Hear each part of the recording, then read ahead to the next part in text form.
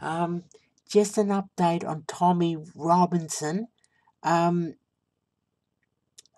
uh, he was sentenced to nine months in prison, so minus um, minus time being served.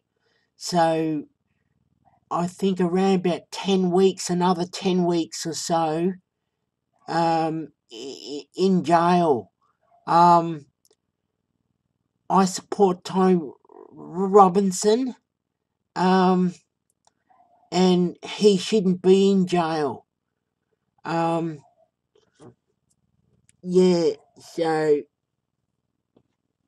and and Tommy's Tommy's been forced to um,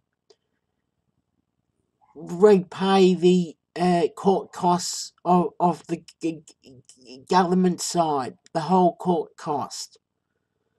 So, okay, thank you.